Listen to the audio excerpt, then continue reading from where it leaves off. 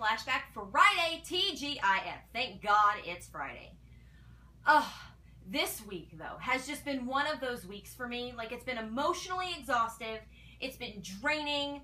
I've been super ridiculous busy. Um, this was my first week back to school. Um, I know, like in July, right? Stupid. But that is when my session started for college, and so I'm taking a really stupid, simple class. Like, it's gonna probably be the easiest A that I've ever got in my life. Um, but it's a really important class, and it's basically just um, strategies for online communication and how not to be like misunderstood in the um, social media world, which ironically um, is obviously a very big part of my life because social media is huge in my life. Maybe that's why I'm a social media marketing major. Like, I'm literally going to school to get what I conveniently call a BS and FB, which is basically like my Bachelor's of Science degree in Facebook. Um, the technical term will be a Bachelor's of Science degree in marketing with a concentration in social media marketing. In, in English, it's a Bachelor's of Science in Facebook. I, um, with fingers crossed, will get to have a job where I get to sit and play on Facebook and Twitter and LinkedIn and all aspects of social media on a daily basis. And that makes me really happy. Uh-huh. I mean, who wouldn't want that job? Seriously. Who would not want that job? Who would not want to sit on their butt all day at a desk and play on Facebook and get paid for it? Thank you, social media. Um, I'm still on my movie high from last night. I went and seen the new movie Ant Man. Oh my god, it's amazing. It's wonderful, and I will see it again at least like 60 times. Um, give or take. Um, I really want to see it in 3D. Last night I seen it in RPX, which for those of you who don't know what RPX is, it's kind of like a sister company to IMAX. It's kind of like a toned down version of IMAX. The screen's like quadruple the size of a normal screen, but um, the sound is really, really epic.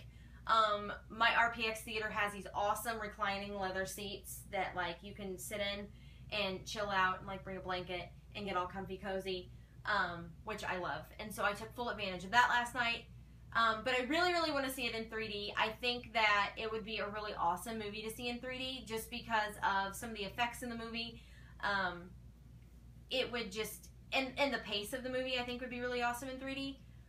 It's got a great cast. It's hysterical as always. Um, I mean, Marvel movies are typically known for having their little bit of humor, um, which I love. And I giggled incessantly throughout it last night. It was just really, really good. It has a fantastic cast. Paul Rudd does an amazing job as Ant Man. Um, it's got Michael Pena in it, which is hysterical. I love him. I think he's fantastic. Every movie I've ever seen him in is just amazing. Um, it's just, I could rave for hours and hours and hours, but we would be here all day. And we are not here to talk about my movie addiction or the fact that I've had like the week from you know what or my degree in college. We are here to talk about GA Flashback Friday, which is where I recap one of our past episodes of Ghost Adventures. And today we are going to a really awesome location, the Old Washoe Club and the Chollar Mine. Um, now, typically I give like a little brief history of the location. However, this time, we are going to give a little bit of history on the guys past with the Washoe Club and the Chollar Mine. Um, now, the guys had never been to the Chollar Mine before. This was kind of just part of their lockdown to back up the Washoe Club. However, the guys have a very deep history with the Washoe Club. In 2004, when they did their original documentary, this was one of the locations they went to in Virginia City, Nevada. Now, Virginia City, Nevada is an old mining town with a lot of history and a lot of death and a lot of darkness. Um, as always, it, an old mining town, people come there to get rich and get rich fast, and it just ends up being full of drama and full of destruction because you have issues with the mines and you have issues with money and violence, and the list goes on and on and on. And then you just become this town of darkness and despair, um, which is kind of what Virginia City had become. Um, the old Washoe Club has a lot of history. It's very It was built to be kind of like the Millionaires Club, kind of like that elite status building. With that comes a lot of power, and with power comes greed, and with greed comes violence, and with violence comes death. And then you have the Washoe Club. Um, in 2004, when the guys were there originally, they got the holy grail of paranormal evidence. They got the full body apparition in the second floor ballroom. Nick had walked into the room, and then as he walked out, an apparition, full bodied, feet, torso, head, all of the above, was seen walking in front of the camera directly behind Nick. Now, apparently, these spirits have a bone to pick with Mr. Nick Groff because they don't like him. Um, Mark and Debbie Constantino, which we who we know now very well, was kind of new to the show at the time. Um, they are paranormal. They're EVP experts. They can get the clearest EVPs I've ever heard in my freaking life. Like it is unfreaking believable. They had went and done an investigation a few months before the guys showed up this time, and they had gotten some EVPs that were cray cray cuckoo for Cocoa Puffs nuts. Um, they got EVPs saying, I hate Nick, um, Nick Groff, Zach, Nick, coming, they're scaring me. What the crap? Um, it was just unbelievable. Like, they got these sick Class A EVPs. They are wicked to hear, and they gave Zach and Nick and Aaron, like, the chills.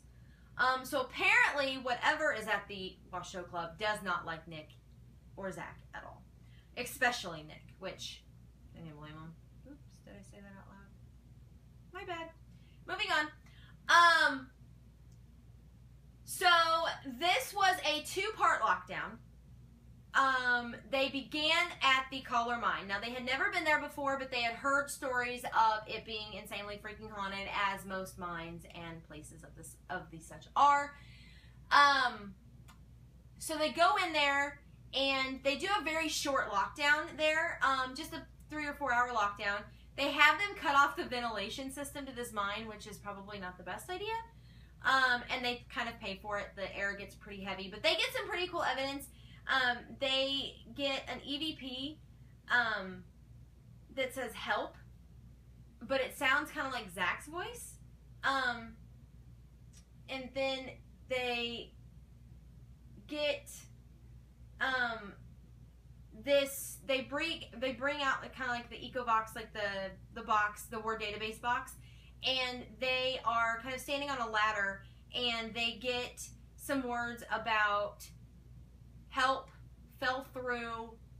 Um, and what's really interesting about that is this particular instrument um, only brings one word at a time, and this one actually did two, which was really, really crazy. And it kind of shows that um, with enough energy, I think that a spirit can manipulate any piece of equipment. Um, and then Aaron feels sick and kind of nauseous and just kind of gets that sinking feeling. And then they hear mining sounds. It was like pretty basic lockdown. Like they got, you know, they got some evidence that can back up the claims that it was haunted. But you could tell that the guys really wanted. This was really just a filler for the big show, which is the Washoe Club. Um.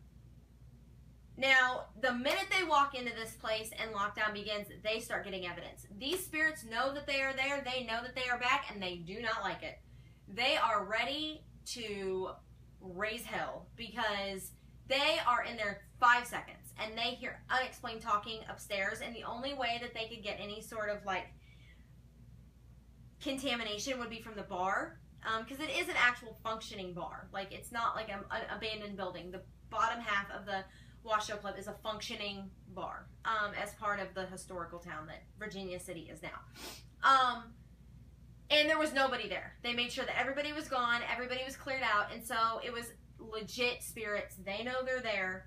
Um, they instantly start smelling cigar smoke, which is a very common thing in the Washoe Club, and it's kind of linked to a spirit that they believe um, had murdered people there.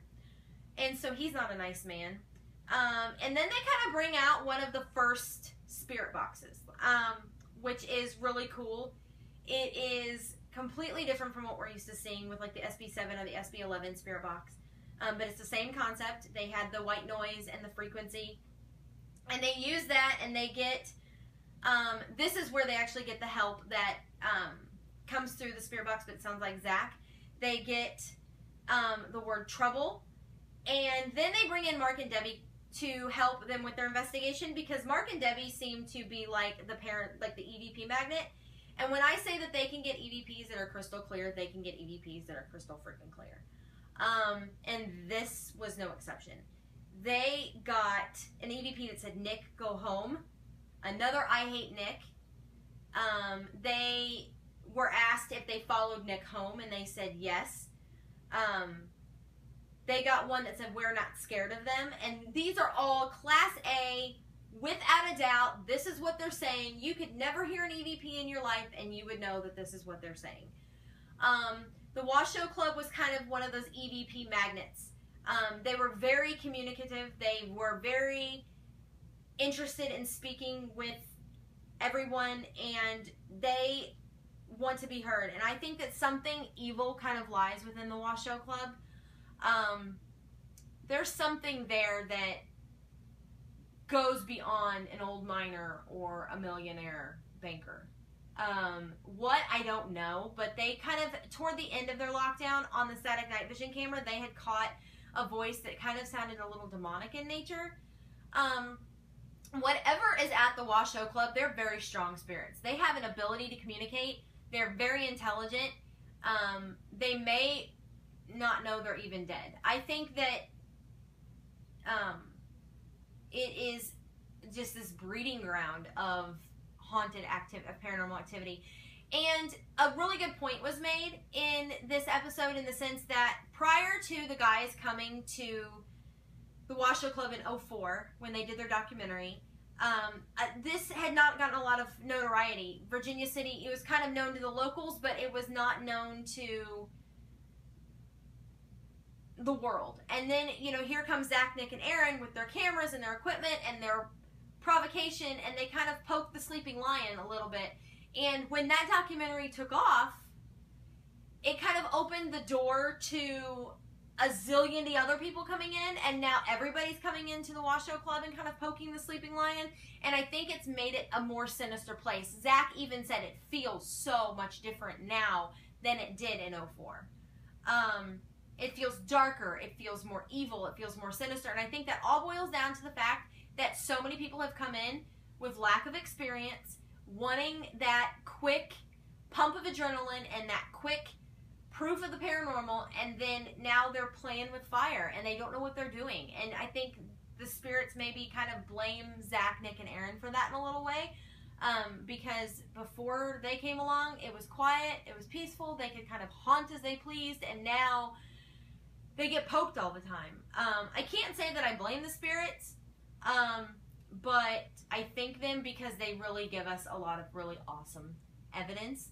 Um, and now the Washoe Club is kind of one of those places that is enshrouded in Ghost Adventures history as being that place, like one of those places that is kind of on um, Zach, Aaron, and Nick's list of places that they don't mess with. And it's just one of those places where they're kind of on like the spirit shit list. to be honest, I think the spirits, I think the spirit world has their own little list of, you know, their own little hit list, and I think the spirits of the Washoe Club for sure have targets on Zach, Nick, and Aaron's back. Um, it's a really awesome location. It's a really cool place. It's given the paranormal world a really awesome piece of evidence, and I think that the paranormal world's kind of grateful for that because whenever you get the Holy Grail, which is um, a full bodied apparition of a spirit, then you kind of give that place a big clap and a big pat on the back for being awesome. So that is all I have for GA Flashback Friday. I will be back on Tuesday for GAQA Tuesday. Yes, it's coming on Tuesday. Until then, stay happy, stay healthy, have a fantastic and wonderful weekend. And if you have not seen Ant Man, go see it. I realize like it just opened today, but you could have not been a slacker and you could have went and seen it last night, like I did. Um, but go see it. It's worth the money. I promise you, it's worth like the what the bajillion dollars that you spend to go see a movie in the theater. Go, stop what you're doing right now. Buy your tickets. It's convenient. Go to fandango.com, buy your tickets on Fandango, You can do it on your phone. You can take your phone to the movie theater. You don't have to wait in line for your ticket. I don't want an excuse. Eat before you go so you don't have to buy a $1,000 worth of food at the concession stand and go watch Ant Man. It will not disappoint you. I promise. Okay, rant over. Have a great weekend, guys. Much love and happiness. Bye!